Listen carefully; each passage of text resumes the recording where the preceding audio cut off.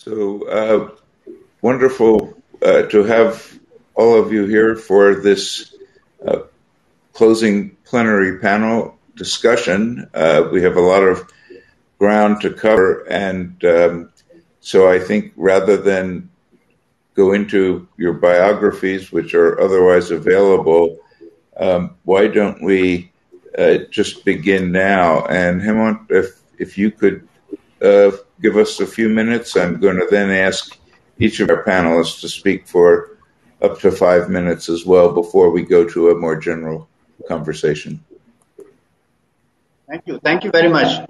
Good evening, good morning, good afternoon. I think that we are all on all time zones in the world that we are all getting together. This is a very new experience that we all of have been having for the last one and a half years.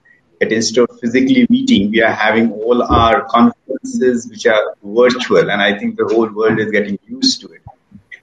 Just to sum up that what has happened in the last one, one and a half years, especially in India with the COVID pandemic, which was which started last year in March, and we went into series of lockdowns. Subsequently, there have been a lot of disruptions in the businesses, lives, and livelihoods. And uh, also with the second wave, which was more virulent this year, which started in April, May, and continued till June. Now it is basically coming down.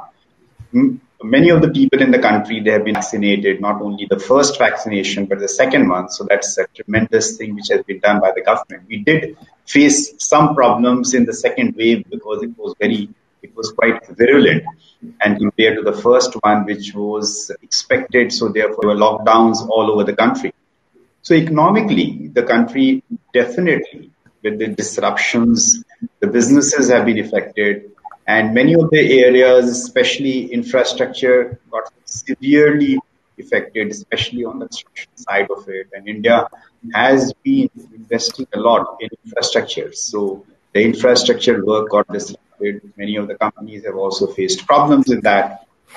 But many of the other businesses, the good news is many other businesses have done well. In the last, once uh, things started opening up last year, from the third quarter of the financial year last year, we saw that commodity based businesses like steel, cement, they have done extremely well. Food based businesses have done very well because I think that people locked down at their homes, they have been having more food. Definitely healthy food, but people have been having, uh, you know, they had time to basically have food sectors, food processing industries have done well, agriculture has done well, especially technology, because uh, I see that there has been a substantial move in the technology companies. And uh, most of the technology companies, they have been able to increase their businesses multifold in the last 15, minutes, 15 months of uh, this COVID. And that also reflects that India is all ready to embrace technology in a manner which we had never even imagined. And especially even in the rural areas, that it has, the technology has been embraced in the rural areas so rapidly, which has helped in the businesses. Many of the e-commerce businesses have done very well, delivery companies, logistic companies. So all around we see and that has also resulted in a large number of startups and unicorns from India. And we have seen a spate of uh, IPOs happening, which are basically being triggered off by the technology led e-com led e-commerce led companies, and uh, which has started opening up, which has been doing extremely well. So where we see is the movement towards uh, technology and technology related businesses have helped India to a very large extent, and that is something which is going to be driving the businesses to a very large extent moving forward. And most of the things are coming back to normal gradually. It will take time. I hope we don't have the third wave, which uh, you know everyone is anticipating. If we don't have the third wave, then I think that from the third quarter of this particular financial year, things will start moving uh, back to normal, which was there last year in the third quarter also. So overall, I see that the perspective from the perspective of the pandemic, which had affected the entire world and also India with such a large population, we are gradually coming back to normal. definitely it will be a lot of struggle for the businesses and the government to bring it back to what it used to be in 2018-19. It will be some struggle, which I think it will be every, every country will be facing that. And that is not going to be something which is new to India. But the opportunities are, I'm not, uh, I don't even, I'm not even thinking twice that the opportunities are not there because the opportunities are still there in India. The opportunity shift will definitely happen more towards technology oriented businesses, whether it be in the, the software industry, e-commerce businesses, fintech. So everyone has been moving into the technology platform. We have seen that, you know, we run one of the businesses which is uh, technology related in the rural areas.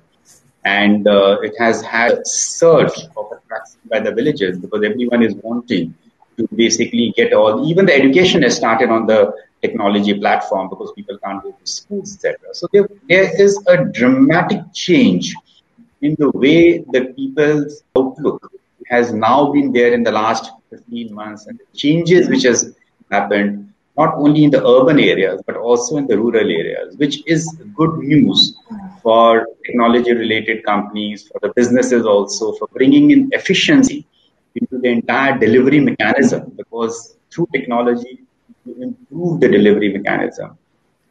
The one concern will be of employment, which we have to look at it. So that is a brief where we stand in India and the opportunities which I see from the Indian perspective. Thank you. Thank, thank you very much. Um, uh, Kris, could I ask you please to uh, follow up? Thank you, Norman, and uh, uh good evening, good afternoon, good morning, everyone. Uh, I'm going to take a, a much um, broader view of um, the Indian economy you know, this is uh, 30 years after the reforms started in 1991. And uh, when I look at the 30 years of my experience, India has gone from $600 billion of GDP to $2.7 trillion of GDP. That's about four, four and a half times. Per capita income has gone up again by from $600 to $2,000 per capita. Uh, we have seen significant changes in the quality of life you know, in terms of access to telecommunication, in terms of financial inclusion, you know, 400 million people have got bank accounts. So, uh, you know, we have seen significant improvement in the last 30 years. Now, when I look at uh, what has happened recently, this um, reform process is continuing. Now, just in the last six years, India has looked at uh, insolvency and bankruptcy code, farm laws, labor reforms, amendment to Companies Act, uh, the telecom revolution. We have one of the uh, best networks at the lowest possible cost. Um, the innovations in the fintech sector, uh, where 400 million people have been added, and uh, because of the telecom revolution, every sector of the economy has started embracing uh, digital in uh, providing services to people. And during the pandemic, that clearly uh, came to the fore to help uh, the industry. So that's the second aspect. The reform process is continuing across multiple governments, different parties in power, and and that is very positive because the the reform momentum will continue. The third reason why I'm very optimistic is the, the economy is now more and more driven by technology and entrepreneurship. You know, yesterday was the listing of Zomato. You know, this is a company that was started in 2008 and within no time, they have actually hit a market cap of about uh, uh, 12 billion dollars. It was one of the most successful IPOs. This is the first IPO um, in the startup sector in India very widely um, seen. And, and so on one side, you know, we have a vibrant startup ecosystem, the third largest in the world. And second, you know, uh, these companies are going to IPO and that creates a positive virtuous cycle in the economy because the people who make money will start investing back into the startup ecosystem. So the investments into the startup ecosystem will continue and the innovations will also continue. Uh, the fourth reason is uh, the waves of emerging technologies that are coming that allows us to um, uh, create uh, new economic activity, create innovations, bring new startups, bring new business models, and bring efficiencies in the economy. And this efficiency is being seen in agriculture, it's seen in education. Byju's, you may have heard of it. It's a company that is started in India. It's now making waves across the world. You know, it just made an acquisition in the US of $500 million of Epic. And, and, and again, you will see that, um, you know, the, the, the uh, Indian uh, industry leveraging uh, emerging technologies is create are creating industry is creating new um, high growth engines new uh, leaders in the business segment etc and last but not the least i strongly believe that because india was late to the game india has less of legacy there is a opportunity to reinvent healthcare there's an opportunity to reinvent how agriculture is seen, what is called regenerative agriculture. You know, positive to the farmers, positive to the earth, right? Uh, and, and, and these new models, you know, what is the new model for transportation, mobility? Every one of these things, I believe, is a new opportunity. And these new models that are inclusive, ac- uh, affordable, accessible, and are sustainable are going to be implemented first in India because of lack of um, legacy. Uh, I think the leg- lack of legacy is going to actually be a positive for India. The world is going to consider India as the laboratory for trying out these new models. And I, I hope the people listening to this will consider India as a laboratory to trying these new models. So, in summary, I want to say that over the next 30 years, India will become a $10 trillion economy. The per capita will income will go to uh, $10,000. India will truly become a middle income country. India will have 750 million people, one of the largest middle classes in the world. Yes, there are still poor people, but it will be a middle income country and it will be driven by innovation, entrepreneurship, startups, and new technologies. That is why I'm extremely optimistic about the opportunity ahead of us. And I believe, I believe that this is an opportunity for the rest of the world to participate in India's success. Over to you now. Thank you uh, so much. And I think that leads very much into uh, some of the comments that Gunjan, I'd like you to, to make as well. All right. No, thanks. And I'm just going to build upon, you know, what, you know, we heard from Hemant and Kris. And I can just say that, firstly, yeah, I mean, sitting here in Palo Alto, California, at, at, at the heart of Silicon Valley. Firstly, I want to you know welcome everybody here, uh, different time zones around the world. Uh, so it really reflects the age of technology that we live in. And I can just tell you that you know uh, I I moved to United States 30 years back, you know, as seeing this as a bastion of technology. But now what I hear from India, what I see in India, and interacting with the key business leaders as well as government officials and so forth, innovation has indeed become the center theme for India, which is really, really rewarding. Uh, and the phenomenon that you know originally started in Silicon Valley, for it to now make its roots deep into all parts of the world, and especially so in India, is very heartening. And I think you know we, with the advent of digital, you know what you're seeing innovations in fintech, and I kind of use the word that you know data is the new oil this is the new currency, and that is really kind of taking shape as India is kind of building a data-driven economy where you are actually able to create real intelligence, real value coming out of data, whether it's digital data for commerce, whether it's for uh, regulatory environments, whether it is for end user applications. Uh, there's a lot of innovations that's been in place now, and there's more coming down the uh, down the pike.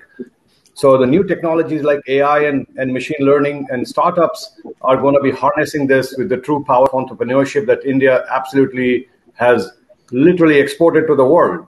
And uh, so India has been known for its entrepreneurship around the world, and it's really heartening to see entrepreneurship in India now taking shape, uh, not just outside India. Uh, there are a few major themes that I see emerge post pandemic which are also going to be relevant for India to pay attention to. And I feel like if you think about it, you know, the, the last 10, 12, 15 years, there's been some major shifts. So if you if you go back to the financial crisis of 2008, you know that that was one of the biggest financial risks that the world had seen, uh, and that that was something that the world adopted to, and a new slate of technologies and companies and startups and businesses emerged out of it.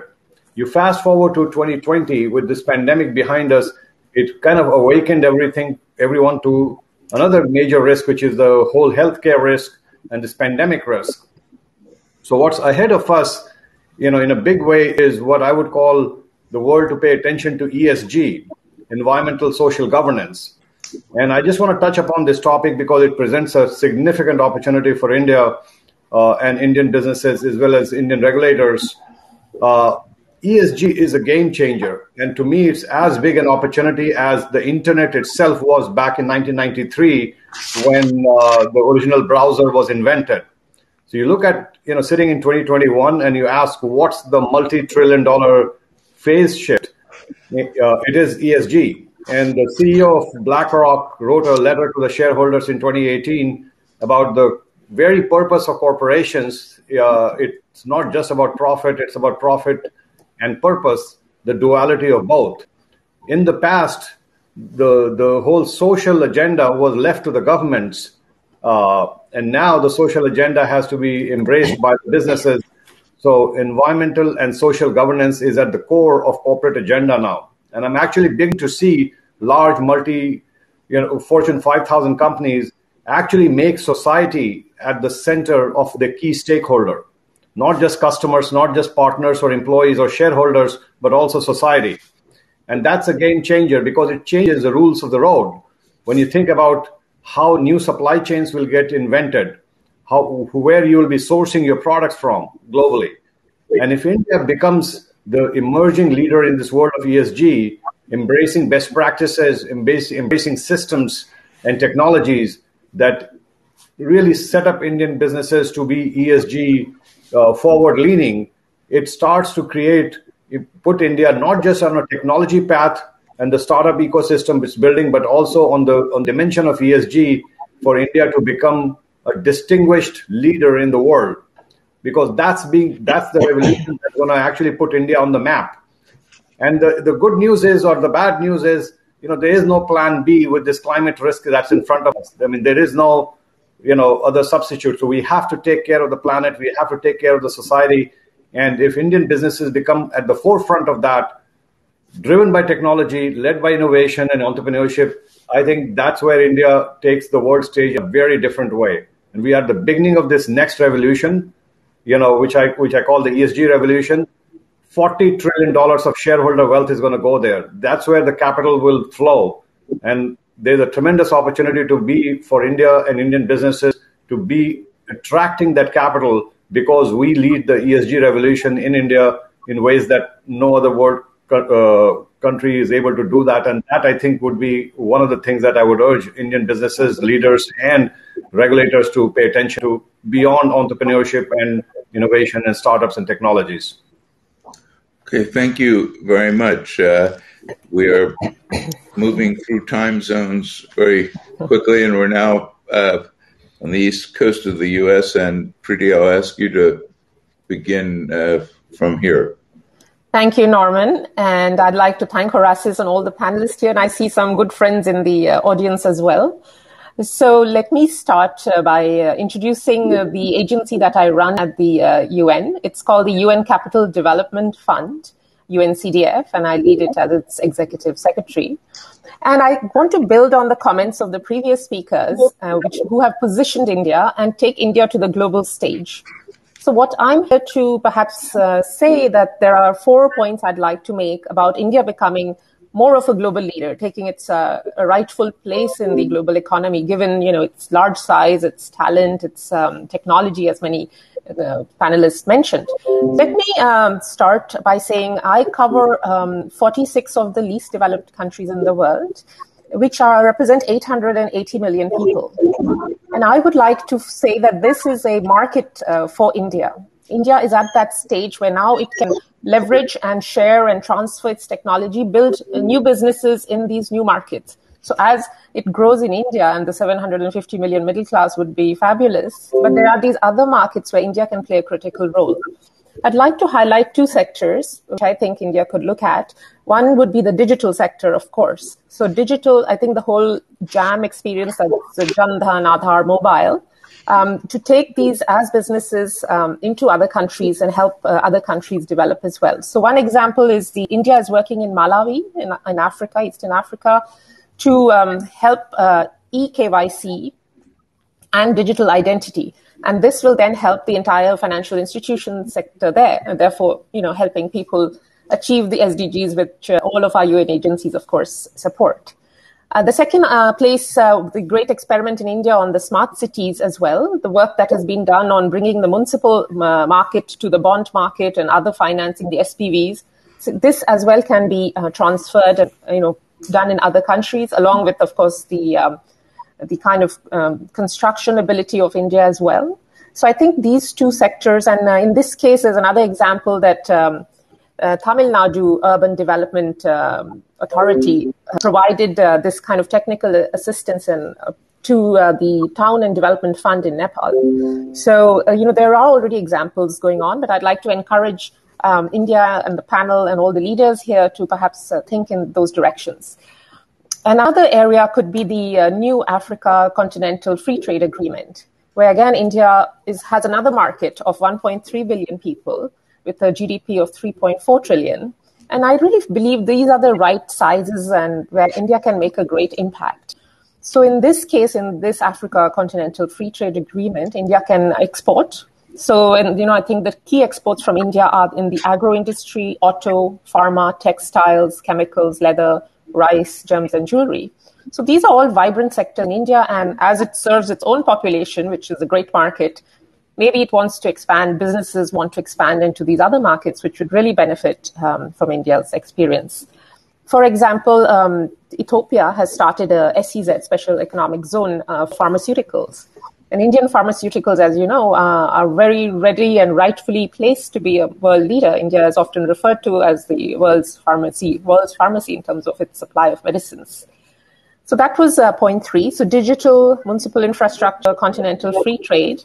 And lastly, to bring in the fact that India does have within the UN, there's an India UN Development Partnership Fund where India is playing the role of a donor and um, has a target of 150 million dollars to that fund, which then assists and invests in these other countries.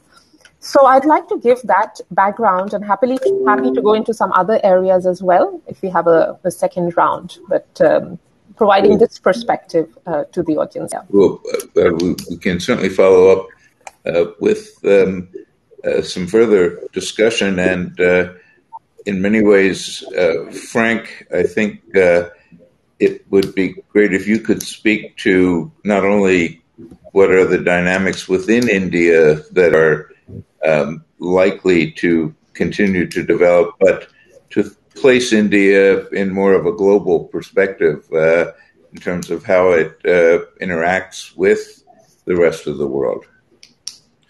Norm, thank you for including me and all of my friends at Horasis. I'm really delighted to be back with you. Um, and I have particular word of thanks for Preeti Sinha, who set the stage for me, as each of us has been asked to reflect on what lies ahead for India um, as India emerges from the apocalyptic experience of COVID. Um, as I look at India's fundamental challenge today, uh, COVID has underscored for me the importance of India's international vocation. I repeat, international vocation. COVID teaches us a number of lessons.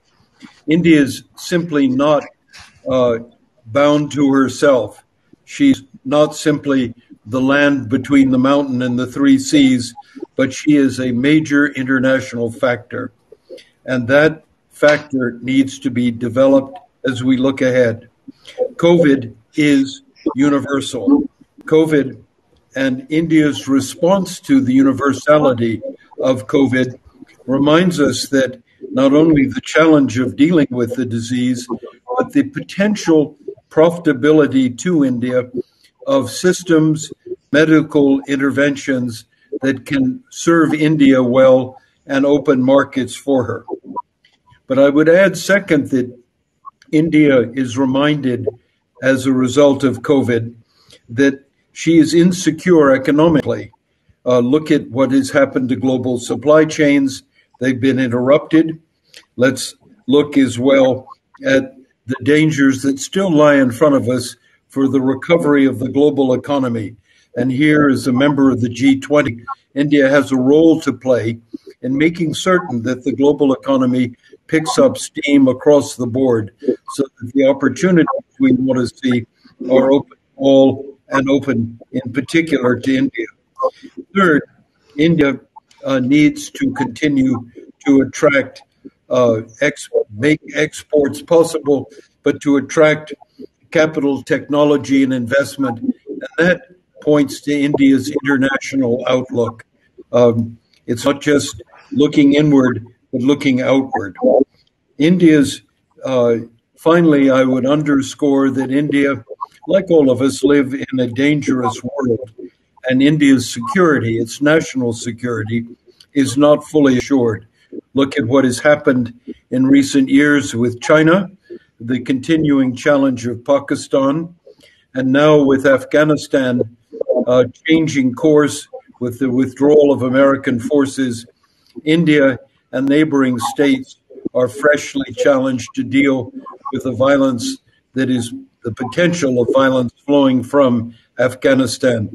So we live in a dangerous place, and India's vocation is again international. And I think India approaches the future as an international actor with a strong position to begin with. And I, someone who believes very deeply in the Indian experience, and I'm an optimist, believe it lies in part on India's values, India's commitment to human rights, India's commitment to the rule of law, India's commitment to freedom of speech, diversity, tolerance of religion to its Gandhian traditions has placed India in a special moment, special place on the global stage, much greater, much more important than any particular aspect of Indian culture, including emphasis on its identity. That emphasis or overemphasis can only divide Indians and weaken India in the eyes of the world. But COVID, COVID is a challenge. It remains to us a challenge today. Uh, COVID is um, internationalizing challenges India to internationalize its economy, internationalize its security, internationalize even its health defenses. India um, is faced with um, a challenge that has to overcome trade barriers. I would argue very strongly that to be successful in all the domains my colleagues have mentioned, India needs to reduce trade barriers. And politically, India needs to look at its place in the global order. Global power is being restructured. Global power is shifting away from the bipolar world of the Cold War to a multipolar world, and India is one of those key poles. I um, therefore come back to the important uh, issue of India's relations with the United States as a closing remark. India will, India will in the future, as it has in the past, pursue her own interests through strategic autonomy. But in this critical period, and with the dangers that surround us, India needs a strong anchor. And I argue that the relationship with the United States is such an anchor, and I welcome the forthcoming visit of Secretary Blinken to remind us of the partnership that lies before us. India and the United States face a particular challenge with China of how to manage a relationship with China so that the competition is peaceful and sustained. India has the opportunity to exercise influence in the China dimension, not only bilaterally, but multilaterally through the Quad with Japan, the United States, and Australia, building leverage with China. India will face, with the United States as well, continuing responsibilities for Pakistan's role in the region. And then, as I noted on Afghanistan, even though the United States is withdrawing troops, it's not leaving the scene. And US India cooperation, intelligence exchanges are all vitally important. Now, I turn finally to an aspect of the relationship that does need attention, and that's trade. We have far too long let slide trade differences and added to them differences over the digital economy. These need to be addressed forthrightly. So I'm going to argue in closing that this is a time for a new burst, a new burst in international energy for India, an energy that is based on statecraft and not politics, and achieved best days of India lie ahead of her, as well as the best days in the U.S. India relationship. Norm, let me give the floor back to you. Well, thank you very much, Frank. And I'd like to just ask any of the panelists to respond to, particularly the, the issue of the ways in which um, U.S. China relations and the the fact that they have become far more more difficult in recent years uh, might have impact on India. Does it create opportunities that might not have otherwise been there, or is India going to have to choose between the U.S. and China? I've asked myself the question whether we're going to have an Asian century or a Pacific century, which just to a large degree depends on how much involvement the U.S. has with the rest of Asia, but most particularly uh, with India and with China. And I'd be curious how any of you might feel about that. Yes, please, Kris. Yeah, um, my perspective here is we can't afford to uh, have disturbances or a, a, a trade war. So it's in our interest to work together and work with China to create this an Asia Pacific uh, century. That's where the largest population and that's where the largest opportunities are.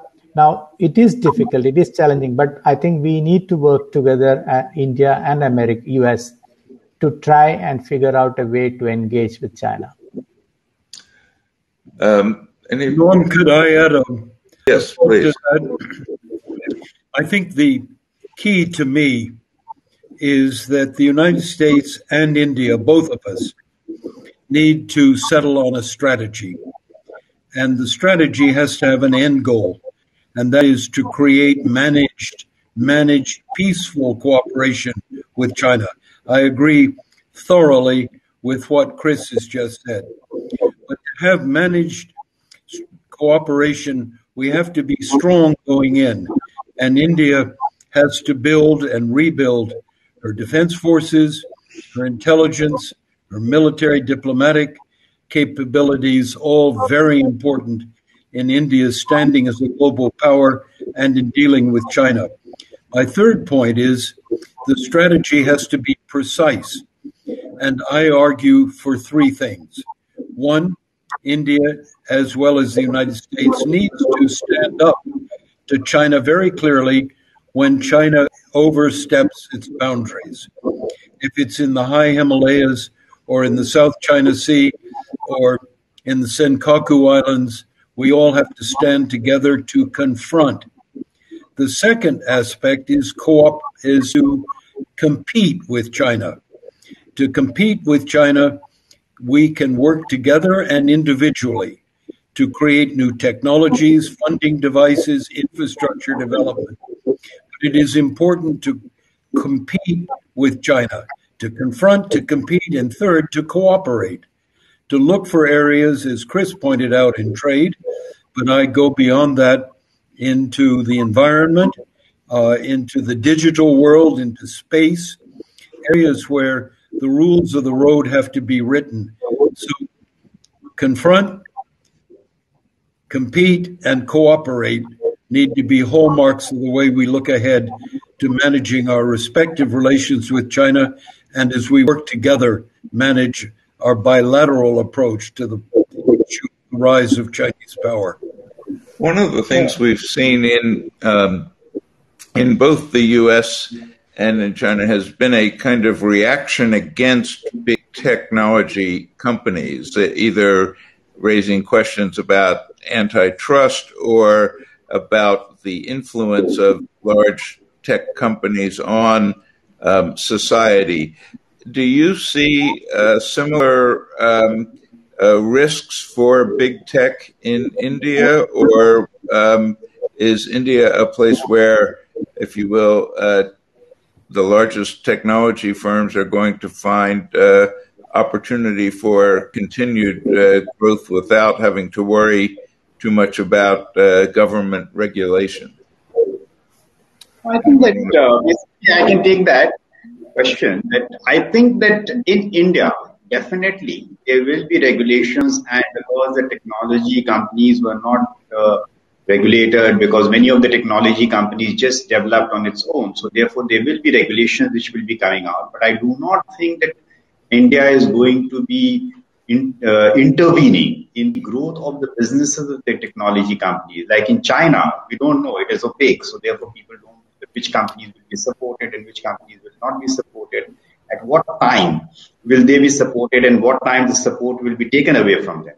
But there is so there the consistency of a policy in China is opaque. Whereas in India, because being a democracy and such uh, such a large democracy, so therefore, there will be regulations which will be coming out, but there would be transparency in those regulations. And the businesses, which are whichever businesses are there, whether it is Indian-oriented businesses or the international companies which are coming and operating in India, they will have a level playing field. There will not be any differentiation which will be there. Yes, the data protection, etc., has to be taken care of, and Kris will be in a position to add more on this being uh, a technology oriented person. So, Norman, um, you know, my perspective again is to work together because US is also grappling with the uh, need to figure out how to regulate these industries or how to work with these industries and uh, and India is also in the same boat. See, we all need to um, increase competition allow innovation to happen. These companies have become too big and, in some sense, are stifling innovation, not just in India and US, but various parts of the world. So we need to figure out how to bring in regulation. And I look at it as a regulation to increase competition and increase innovation rather than constraining them in any way. And, and, and this is where India is uh, different from China. India has created open market, but India has clearly said that you know you need to share your data. You need to allow other companies to come up with new innovations and compete fairly and things like that. So this is where I think India and US can work together. Yes. Yes, uh, certainly, Gunjan. Uh, so let me let me just add to you know the point here. I think uh, I mean, no, uh, the regulation regula- regulations are going to definitely play a big role in kind of how you think about the big tech and how its impact is. Uh, but I also think if you look at it from the shareholders' perspective and this whole ESG movement, I mean, it's a it's a game changer. What it does is it allows for the you know as India and US both start to really kind of uh, build out its momentum around ESG. What it does is the shareholders are now voting with their shares on which companies that they're going to support or not support. And that puts the right kind of a pressure beyond what the regulatory pressures are. So part of India's opportunity that I see is to actually start to build that culture where companies genuinely care about ESG, environmental social governance, and it tackles many of the issues that will actually allow us to retool the supply chains of the future. So worlds where ESG is not really followed properly, you know, are going to lose out, even if they build products at better economics or better near-term uh, uh, value. because the global impact of of that in terms of environmental or social or governance, you know, will negate the, the near term impact of the product itself. So I feel the regulatory environment, you know, for it to foster innovation, that's a key theme that Kris talked about. And I do think that by giving real weight to the ESG movement in India, and of course, US is already, in a, the US companies are in a fairly big momentum in that direction. You know, that will create a, a powerhouse of uh, of a supply chain between US and India that's going to be unparalleled in the future. Uh, Preeti? Yes. Um, thank you, Norman. I want to pick up streams from the last two comments. So I agree with Frank, and I want to pick up the compete. I think India needs to compete, uh, you know, with the other powers but it has this access. Now let me the other markets that i'm talking about. So the all the markets of africa the markets of south asia surrounding uh, india southeast asia and the, even the islands you know the pacific islands. These are all great markets where now india should focus uh, to grow its economy. And then you know for for example in africa it's already the third largest trading partner after eu and china. So let me say use the word uh, competition.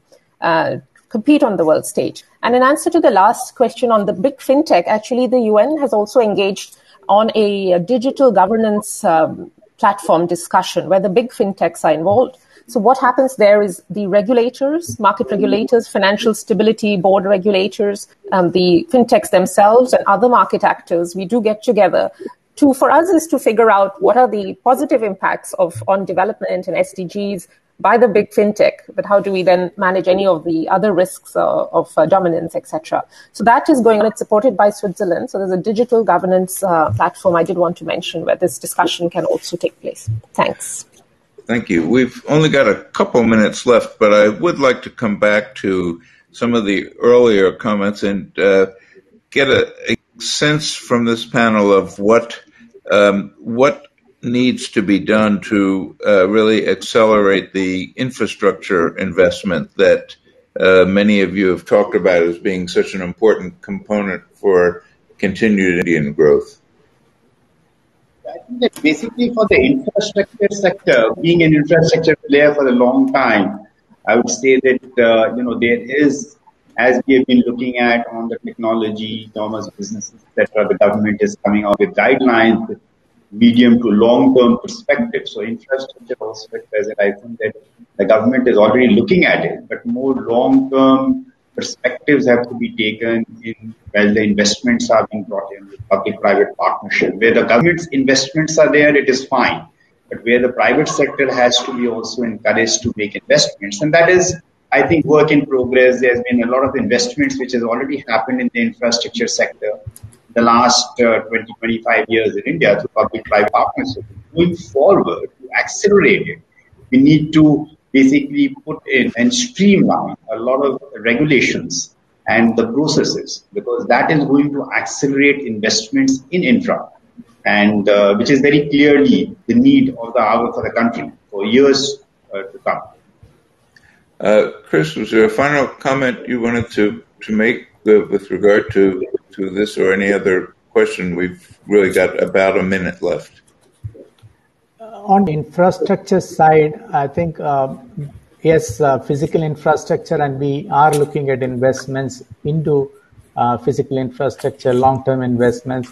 But I would also add that the digital infrastructure. India has done reasonably well on the digital infrastructure. COVID um, brought this out very clearly. But leveraging on top of this, you know, especially in the area of healthcare, there's a huge, huge opportunity to transform healthcare in India. You know, if you want to provide affordable, um, quality healthcare to 1.3 billion people in India, technology is the answer and digital infrastructure is the answer. On top of that, you have to use AI, machine learning, new tools, and new techniques.